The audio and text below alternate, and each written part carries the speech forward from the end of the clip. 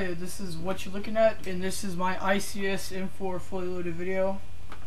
Um, altogether with all the equipment on the gun, this gun weighs about 12 and a half pounds. That's including the gun, the silencer, 5,000 round drum mag, ACOG scope, and the battery box. Um, of course, as you already know, if you've seen my review, all metal gun. The drum magazine is ABS plastic. Uh, foregrip is ABS plastic and the battery box is ABS plastic, but all are really heavy duty, uh, really sturdy. The IC, uh, the ICS suppressor is metal though. Um, I love the gun a lot. It works really good in uh, competition. Um, only used it once. The red dot scope works amazing. Let me turn this on real quick.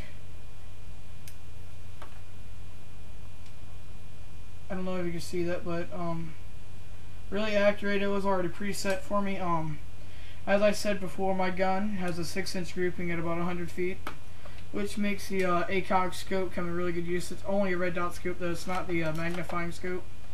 Um, it did come free with the gun, it was part of evike.com. Um, yeah, you've probably seen this before.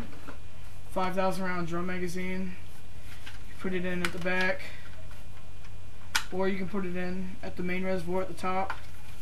You wind it up at the bottom and um, once you run out in your main reservoir, your spare reservoir, is at the back, there's a knob you twist and it makes all the BBs point to the main reservoir. Um, really good magazine. Um, it's just like the ICS. It holds about 60 in the clip, and then once you shoot all those, you got to wind it back up.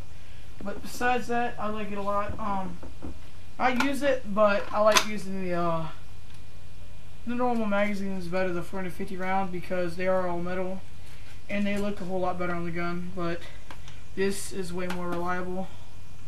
Um, shoots really good. As I said before the ACOG is good. The uh, the foregrip slash bipod doesn't get in the way of the uh, the battery box.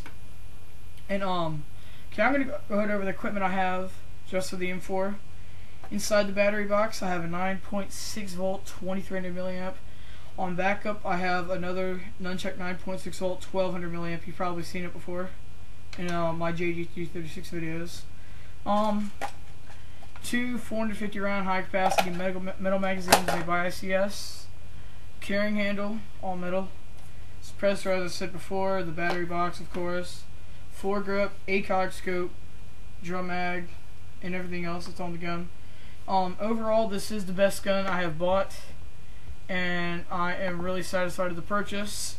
If anyone out there is looking to take a step above JG or Echo One, I'm only going to recommend ICS M4s. They are amazing.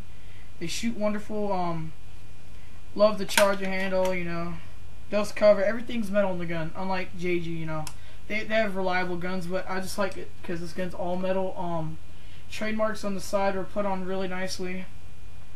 Yeah, that's that's pretty much it. I love the gun a lot. Uh, make sure you see my other videos, subscribe, comment, and um, yeah. So make sure you watch more of the videos. This is what you're looking at out.